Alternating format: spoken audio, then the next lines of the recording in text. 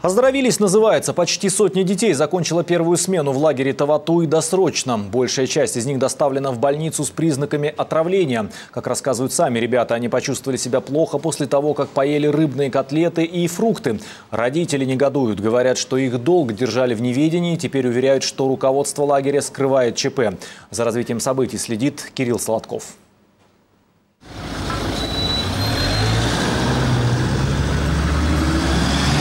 Этим утром лагерь Таватуй стал по-настоящему оздоровительным. Так много врачей здесь не видели никогда. Медики единственные, кого сейчас пускают внутрь. По всему периметру выставлен полицейский кордон, не пролетит и муха. За забором томятся даже родители. О том, что ночью их детей увезли на скорой, многие узнали только сейчас. Нет, мне ребенка не показали, просто передала ему телефон.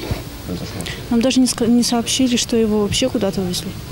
Вожатая Алена признается, отравления начались задолго до карантина, но администрация предпочитала скрывать этот факт. Тревогу забили слишком поздно, когда с температурой слегли уже десятки детей. Два дня назад там кто-то начал отравляться, ну, как я слышала. И через вот вчера ночью я сидели мы, было пол второго, сказали, что в медпункте там блюет много народу. Я думаю, ну у нас наш отряд принесет, и у меня девочка остается с отряда, говорит, мне плохо. Ну и все, и пошло-поехало, и мы бегали всю ночь. Вот, и... К полудню количество заболевших детей в лагере Таватуй превысило 80 человек. Часть из них незамедлительно доставили в больницы Екатеринбурга и Новоуральска. Сейчас полным ходом идет эвакуация оставшихся детей. Их вывозят на заказных автобусах и каретах скорой помощи. Концу дня стало ясно, заболели около сотни детей. Более семи десятков госпитализированы с кишечной инфекцией. Первоначальный диагноз – энтеровирус – не подтвердился. В лагере, короче, это батончик какой-то да, дали. это в Таватуе. Ну да, вот мы сейчас приехали. Короче, отравились мы там. К счастью, ни одного тяжелого случая нет. Состояние пострадавших медики оценивают как средне тяжелое и легкое. Санитарные врачи весь день исследовали лагерь, кухню и то, что подавали на стол. Главный подозреваемый – творожная запеканка, которую дети ели на завтрак.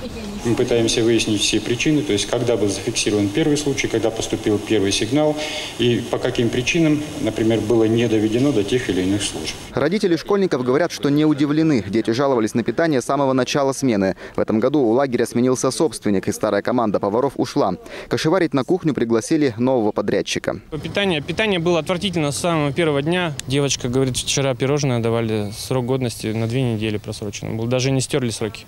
Результаты экспертизы будут известны только в понедельник. Однако Следственный комитет уже возбудил уголовное дело по факту массового отравления это оказание услуг, не отвечающих требованиям безопасности жизни и здоровья потребителей. Следователям допрашиваются пострадавшие дети, родители и работники лагеря, а также принимаются меры к изъятию проб воды и продуктов с целью определения источника заражения. До конца этого дня из лагеря эвакуировали всех детей. После этого Таватуй закроют до конца проверок. И судя по масштабам ЧП, вторая смена здесь вряд ли начнется. Кирилл Сладков Владислав Колупаев. Новости 41 канала.